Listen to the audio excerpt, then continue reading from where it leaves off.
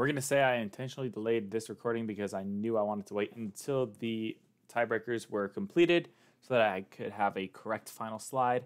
That being said, this is the top 10 after the Fall Cup for North America.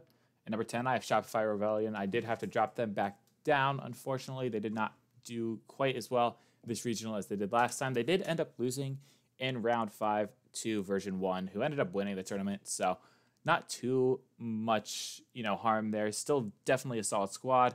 Have an outside shot at the major. All that being said, so uh, this is Memory Parth and Two Piece. Two Piece has been fantastic this season. So Shopify Rebellion still solidly at 10th. Number nine, you have Optic Gaming. It hurts me to drop these guys two places lower as well. That's Reynolds, AJ, and MaJicBear. Still a massive Reynolds fan. Um, as a you know Space Station Gaming fan, wanted to see him find success wherever he can. And while Optic does have an outside shot at making the major, definitely more of a chance than uh, Rebellion does. These guys uh, need to find another gear in this next uh, invitational. I hope they can, but right now I do have to put them at ninth just because North America is so stacked. And number eight is Complexity. I jumped them up one spot due to the win over Optic Gaming. Both these teams ended up making that top eight in the most recent regional.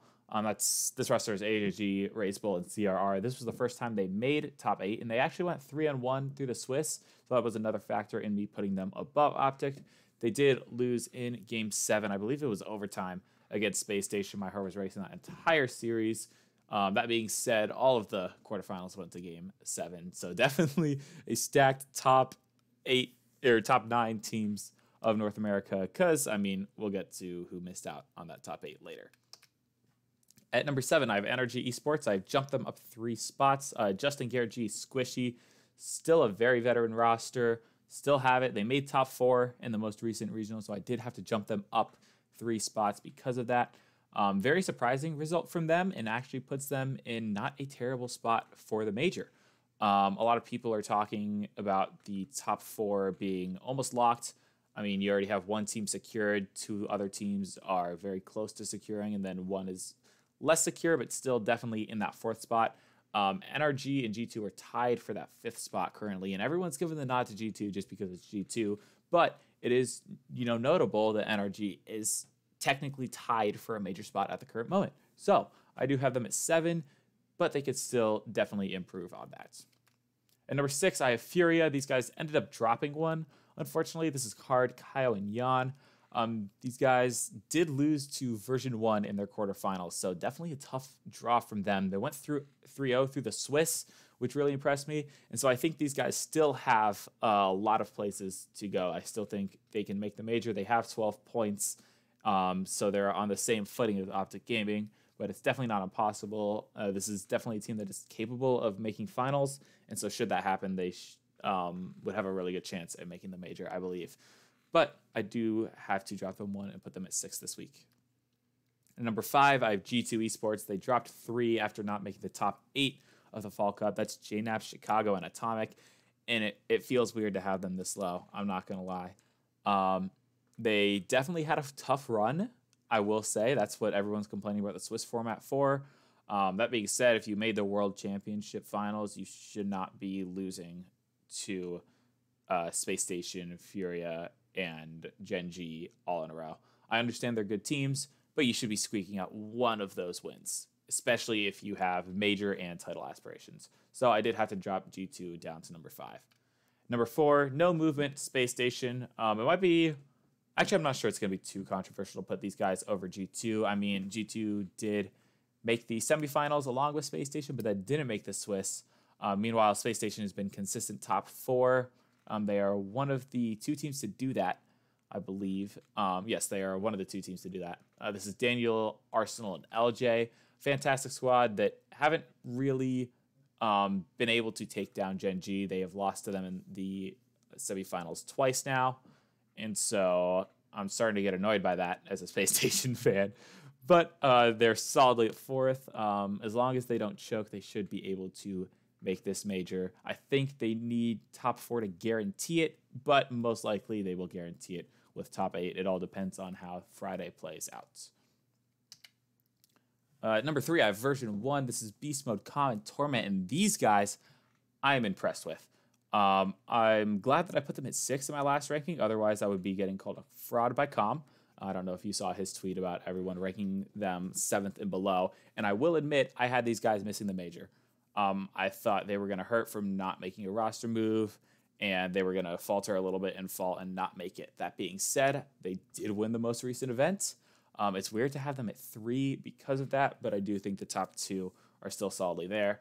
Um, that being said, they are also the most slept on team when it comes to predictions and rankings. Version 1 still very solid, um, looking to stay at the top of NA and hopefully squash the Beast Mode 2 SSG rumors that are flying around with absolutely no validation. I feel like I see that every third day just because Beast Mode Dan- and Daniel teamed up in a 2v2 tournament. Yes, it'd be lethal, but I don't think Beast Mode has any uh, need to move. I think Version 1 is a fantastic org, um, not just for the players, but for the scene as well. They've done amazing things at LAN.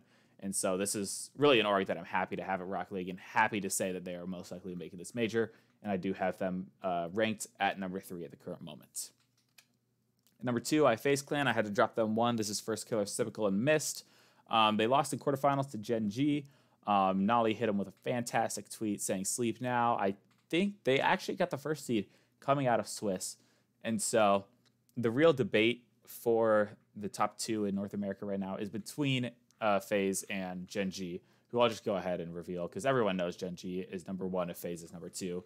These two are definitely the two teams um, deking it out for the top of North America.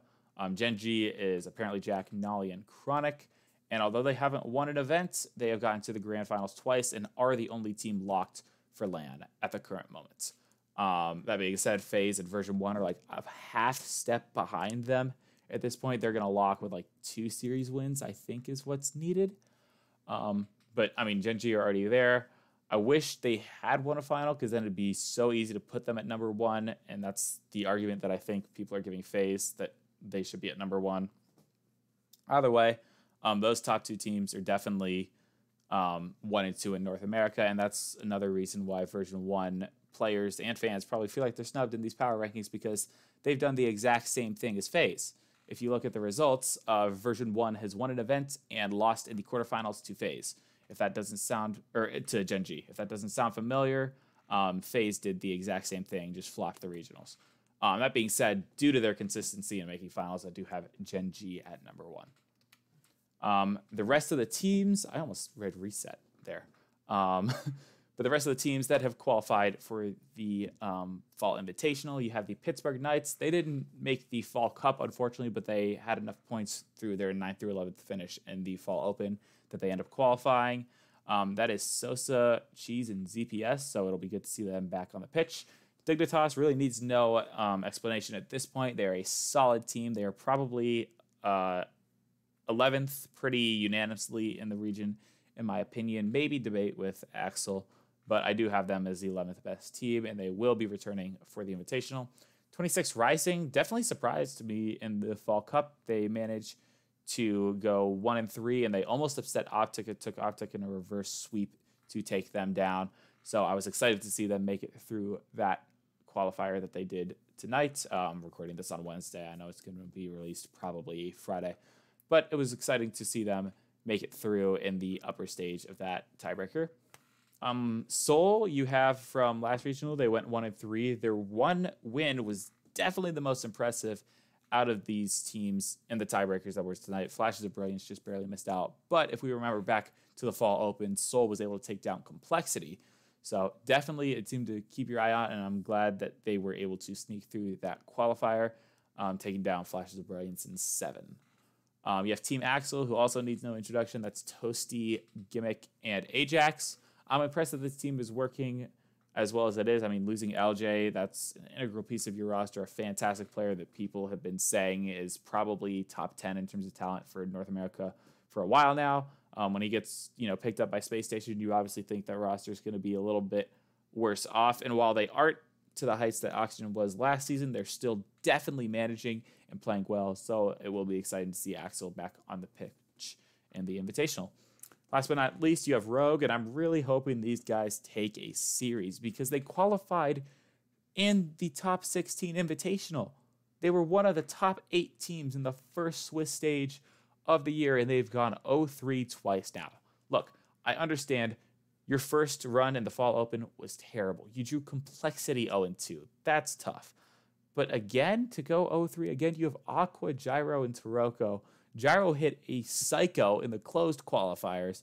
Aqua really needs no introduction. Taroko's no slouch either. Like, I really hope Rogue can actually take a series in this event. I think they're definitely going to be able to, but it will be up to them to actually pull that off. That being said, those are my Fall Cup rankings heading into the weekend.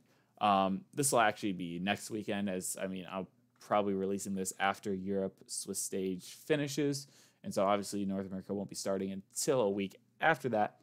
But it'll be interesting to see what shakes out. Um, thank you all for watching. I should have the Fall Cup rankings for Europe out sometime next week, and yeah, that, that's it. That's the end of the video.